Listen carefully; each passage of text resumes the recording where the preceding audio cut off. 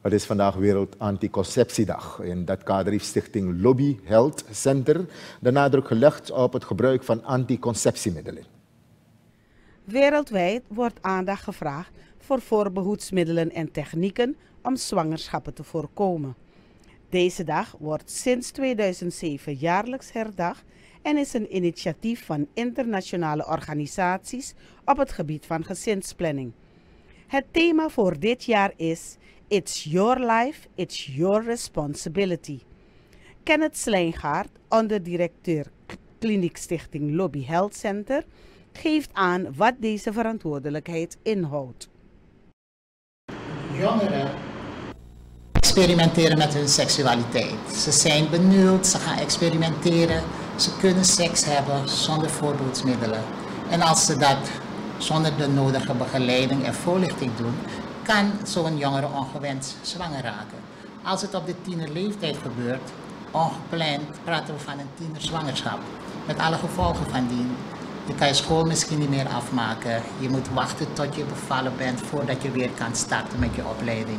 Dan zit je met opvang van jouw baby, uh, geld wat je moet hebben om jouw baby te verzorgen, om jezelf te verzorgen, kleding te kopen. Je moet naar de dokter gaan voor jou en jouw baby. Dus dat alles kan voorkomen worden met anticonceptiegebruik. Het is niet gemakkelijk om jongeren te informeren. Dat erkent Omar Overman, communicatieofficier bij Stichting Lobby Health Center. Daarom wordt volgens hem steeds meer gebruik gemaakt van creatieve communicatiemethoden. Middels voorbeelden vertelt Overman meer hierover. De sessies die we hebben met de jongeren voornamelijk, merken we dus wel dat het, dat het zinvol is om de sessies te hebben. Maar waar wij als Stichting Lobby ook voor pleiten, is dat we, uh, we noemen het Comprehensive Sexuality Education, dat meer uitgebreid is. En dat is dan niet alleen de taak van de stichting zelf, maar dat het eigenlijk uh, geïncorporeerd zou moeten worden in de educatie die de jongeren kregen uh, en op een lange termijn. Er is een heel mooi project die we in samenwerking met VVOB uitvoeren op, uh, ik geloof, negen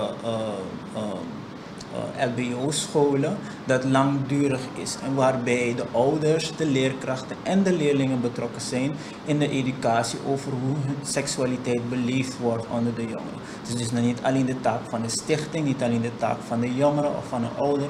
We moeten allemaal gezamenlijk aanwerken om jongeren uh, de tools te geven.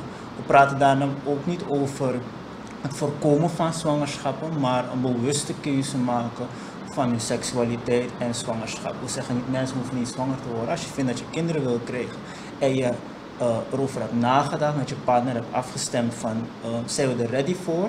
Nou, dan mag je dit en dan zijn we er ook om mensen te wijzen hoe ze dat op een gezonde en een bewuste manier kunnen doen. Ik zag dus uh, Omar Overman, Communication Officer bij Stichting Lobby Health Center. Hij sprak over verantwoordelijk gebruik van anticonceptiemiddelen. Vandaag wordt wereldwijd Anticonceptiedag herdacht.